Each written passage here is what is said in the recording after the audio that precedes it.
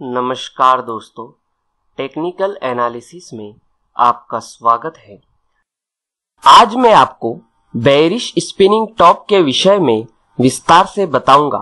Bearish spinning top candlestick का ही एक पैटर्न है।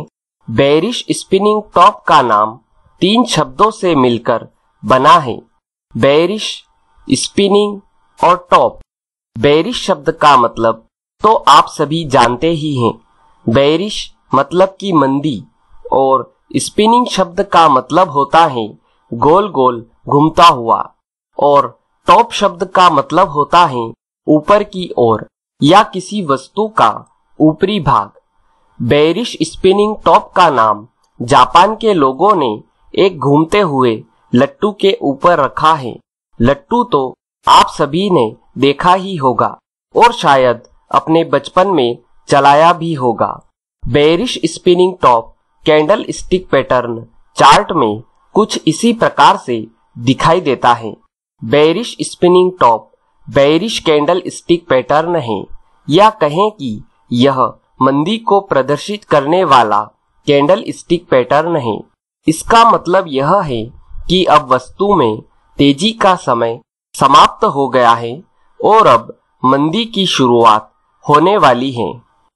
Bearish spinning top candlestick pattern single candlestick pattern है, या कहें कि यह एक कैंडल से बनता है। आप इसे वीडियो में देख सकते हैं। Bearish spinning top candlestick pattern की एकमात्र candle small bearish candlestick होती है, या कहें कि यह छोटी मंदी की कैंडल होती है।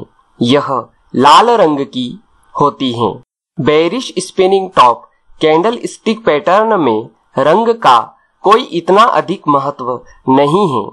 Bearish spinning top, candlestick pattern हमेशा चार्ट में लंबी तेज़ी के बाद बनता है, या कहें कि यह चार्ट के टॉप पर बनता है। इस कैंडल स्टिक पैटर्न के बनने के बाद तेज़ी की संभावना खत्म हो जाती है। कंफर्मेशन मिलने के बाद बिकवाली करने से फ़ायदा ज़रूर होगा। तो चलिए, अब बात करते हैं कि bearish spinning top candlestick pattern कैसे बनता है और इसके बनने में किन किन बातों का विशेष ध्यान रखना पड़ता है। Bearish spinning top candlestick pattern एकमात्र कैंडल से बनता है, जो कि स्मॉल बेरिश कैंडल स्टिक होना चाहिए, या कहें कि छोटी मंदी की कैंडल होना चाहिए। जिस दिन यह कैंडल स्टिक पैटर्न चार्ट में बनता है, उस दिन यह कैंडल बाज़ार में एक सीमित क्षेत्र के अंदर ही ट्रेड करना चाहिए। मतलब कि एक स्मॉल कैंडल स्टिक के बराबर यह अपना हाई और लो बनाता है। इसके बाद जब यह कैंडल क्लोज हो, उस समय यह अपने ओपन प्राइस के नीचे जाकर बंद होना चाहिए। इस कैंडल स्टिक पैटर्न में सबसे महत्वपूर्ण ध्यान रखने वाली बात यह है कि इस कैंडल की बॉडी की तुलना में अपर शेडो और लोअर शेडो दुगुनी या उससे कम हो सकती है।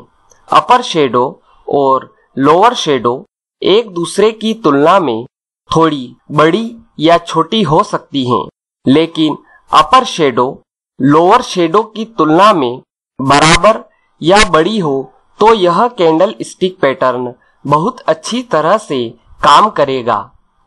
Bearish spinning top candlestick pattern में वॉल्यूम का भी बहुत अधिक महत्व होता है। Bearish spinning top candlestick pattern से पहले जो भी कैंडल है, उसमें जितना वॉल्यूम है उससे अधिक volume bearish spinning top candlestick pattern की कैंडल में होना चाहिए। अगर सीधे शब्दों में कहें तो bearish spinning top candlestick pattern की एकमात्र कैंडल में वॉल्यूम पिछली कैंडल की तुलना में अधिक होना चाहिए। Bearish spinning top candlestick pattern आपको चार्ट में दो प्रकार से दिखाई दे सकता है। यह दोनों प्रकार आप वीडियो में देख सकते हैं। यह दोनों एक ही प्रकार से अपना काम करते हैं। वैसे तो bearish spinning top candlestick pattern में रंग का कोई महत्व नहीं है, लेकिन यह मंदी को प्रदर्शित करने वाला कैंडल स्टिक पैटर्न है तो यह लाल रंग का बने तो हमारे लिए बहुत अच्छी बात होगी।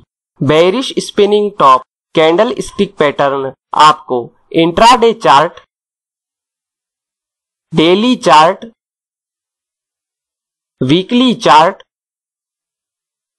और मंथली चार्ट में भी दिखाई दे सकता है।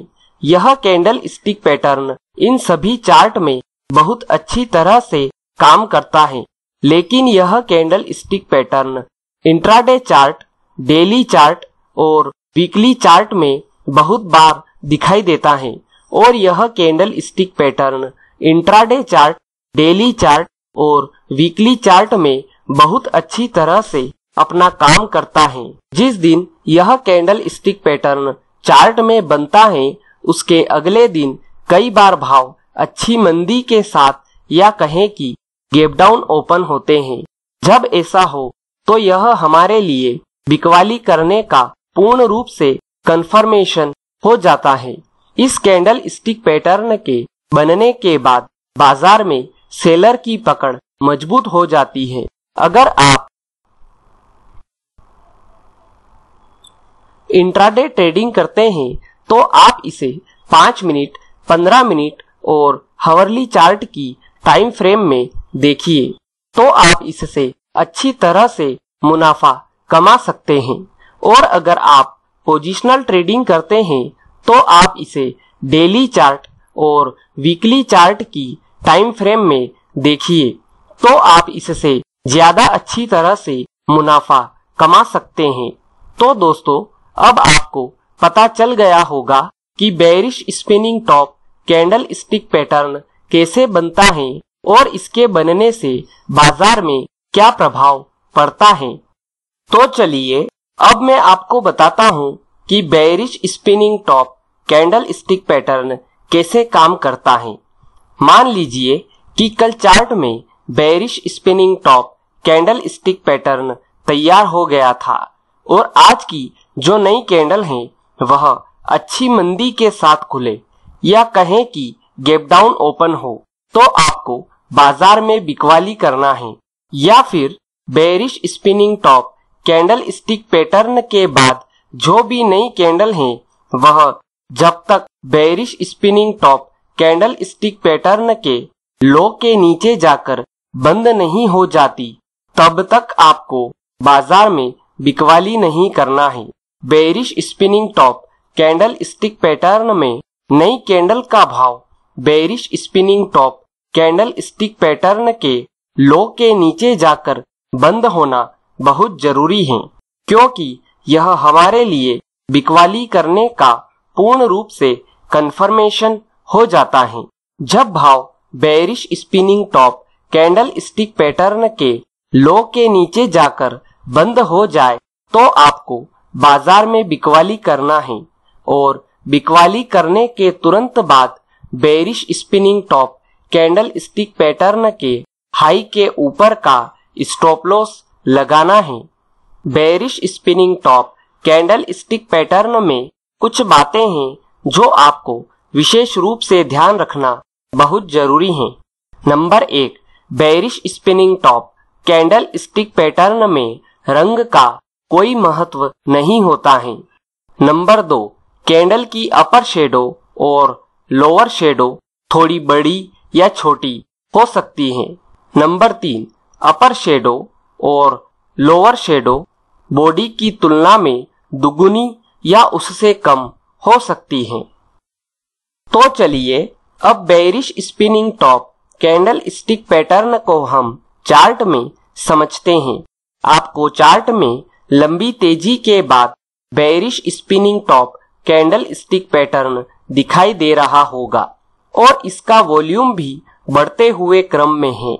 अब आपको इसमें बिकवाली करने के लिए यह देखना है कि bearish spinning top candlestick pattern के बाद नई कैंडल अच्छी मंदी के साथ खुले या कहें कि गैप डाउन ओपन हो तो आपको बाज़ार में बिकवाली करना है।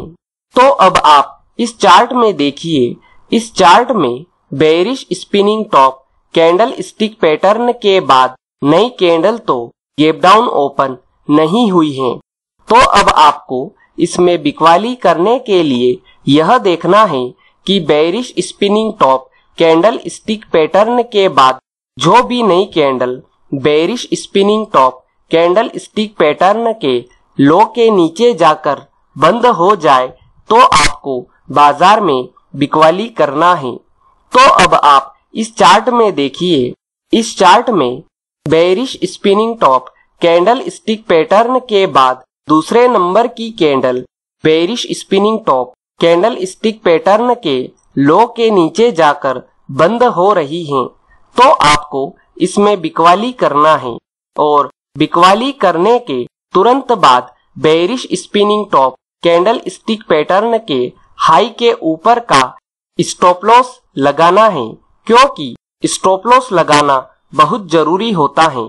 इसके बाद प्रॉफिट बुकिंग के लिए आपको यह देखना है कि जब तक चार्ट में कोई ऐसा सिग्नल न बन जाए, जो कि बाज़ार का ट्रेंड बदल सकता हो, तब तक आपको प्रॉफिट बुक नहीं करना है। जब आपको कोई ऐसा सिग्नल दिख जाए, जो बाज़ार का ट्रेंड बदल सकता हो तो आपको तुरंत प्रॉफिट बुक करना है। तो दोस्तों, आज आपने bearish spinning top candlestick pattern के विषय में विस्तार से सीखा। उम्मीद है आपको यह जानकारी पसंद आई होगी। अगर वीडियो से जुड़ा हुआ कोई भी सवाल आपके दिमाग में है तो आप कमेंट बॉक्स में जाकर पूछ सकते हैं। आज के लिए इतना ही। फिर मिलेंगे। गुड बाय धन्यवाद।